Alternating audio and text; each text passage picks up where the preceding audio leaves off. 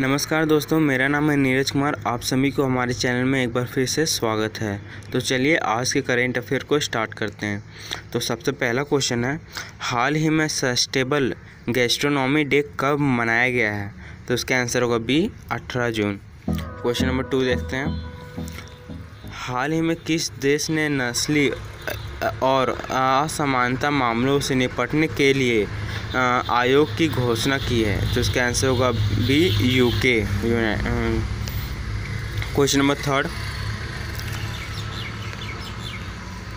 हाल ही में किस राज्य ने अपने कृषि उत्पादन विभाग का नाम बदल, बदला है?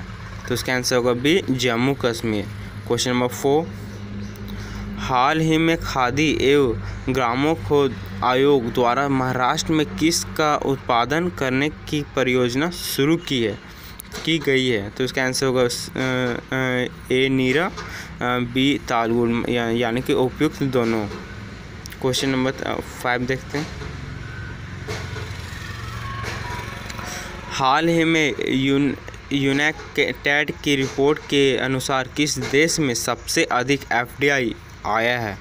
तो इसका आंसर होगा B America question number six हाल ही में किस राज्य सरकार ने आईटीआई के लिए डिजिटल पाठ्यक्रम सामग्री लॉन्च की है? तो इसका आंसर होगा A Gujarat. Question number seven हाल ही में किस बीमा कंपनी ने देश का पहला ड्रोन कवर लॉन्च किया है? तो इसका आंसर होगा C H D F C agro question number eight हाल ही में किस सॉरी हाल ही में किस राज्य सरकार ने रोका झेका तकनीकी को प्रभावी ढंग से लागू करने की घोषणा की है? तो उसका आंसर हो B Chhattisgarh. Question number nine हाल ही में चौथे एशियाई पैरा गेम्स 2021 की मेज़बानी कौन करेगा? तो उसका आंसर होगा B Bahrain. Question number ten हाल ही में भारत और चीन के सैनिकों के बीच किस घाटी में हिंसक झड़प हुई है? तो इसका आंसर होगा बी, गलवान घाटी। क्वेश्चन नंबर एलेवन हाल ही में केंद्र सरकार ने किस राज्य से गरीब कल्याण रोज़गार अभियान की शुरुआत की है? तो इसका आंसर होगा C, Bihar. Question number twelve हाल में, हाल ही में बीसीसीआई के लोकपाल जस्टिस डी के जैन का कार्यकाल कितने साल बढ़ाया गया है? तो इसका आंसर होगा बी, एक साल।